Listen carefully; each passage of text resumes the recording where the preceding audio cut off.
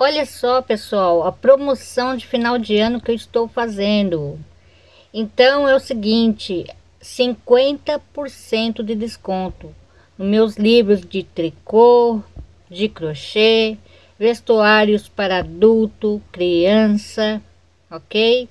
São peças maravilhosas, tem adorno, motivos, acessórios, tem pontos em crochê, são livros com mais de 600 itens, também eu tenho, tá? Tem alguns que tem mais de 2 mil itens também, ok? Pontos para saias, para quem gosta de fazer saias, vestidos. Então, tem peças bem variadas. A partir de 60 reais, do dia 1 de novembro até dia 31 de dezembro. Vocês podem estar pedindo por e-mail ok? Meu e-mail vai estar aí na descrição do vídeo. Então essa blusa eu preciso de oito motivos, ok? Iguais a esse aqui, tá bom?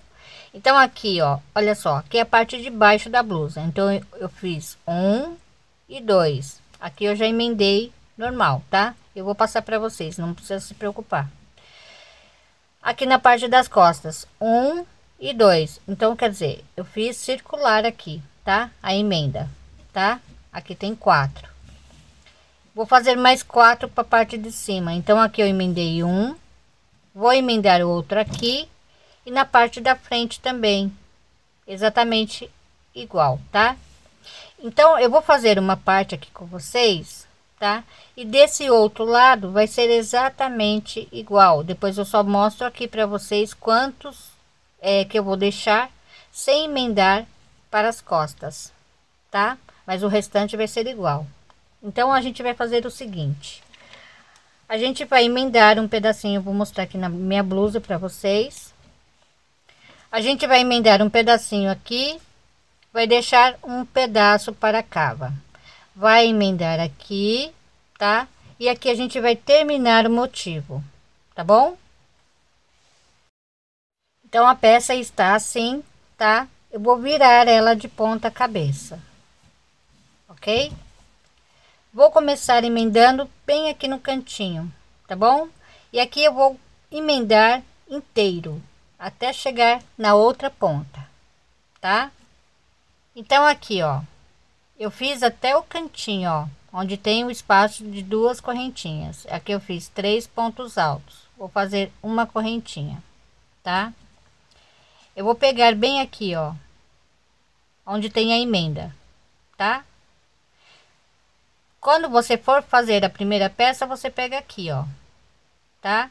Mas como eu já tô aqui, eu vou pegar assim, ó, tá bom? Então, vou pegar sempre a peça de baixo para cima, tá? Para ficar avesso com avesso. Então, bem aqui, ó, onde eu fiz o ponto baixo, eu vou fazer mais um ponto baixo aqui. Faço uma correntinha e volto para terminar aqui o cantinho do motivo, tá? Um, dois e três pontos altos.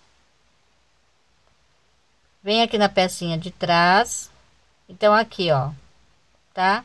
Aqui é o cantinho, os três pontos altos do cantinho. Eu venho aqui nesse espaço e prendo com um ponto baixo. Eu vou prender em modo zigue-zague. Então, aqui, ó, nesse espaço, eu faço os três pontos altos. Aqui, dois e três. Volto aqui. Então, eu pulo aqui os três pontos altos aqui entre o grupinho e outro nesse espaço um ponto baixo. Aqui nesse espaço entre um grupinho e outro meus três pontos altos. Então é assim que eu vou emendar até ali o final tá? Então aqui eu vou emendar a peça inteira ok? E vai ficando assim ó. Emendado ok? Vou seguir fazendo até ali o final. Então, aqui eu comecei a emendar, tá? Pelo cantinho, tá? Segui em modo zigue-zague, prendendo com um ponto baixo em cada espaço, tá?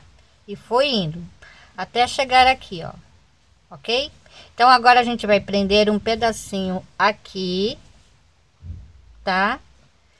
E deixar o restante livre, tá? Aberto para ser a cava, tá? Então eu vou virar a peça assim, dessa forma, para prender aqui na lateral, tá?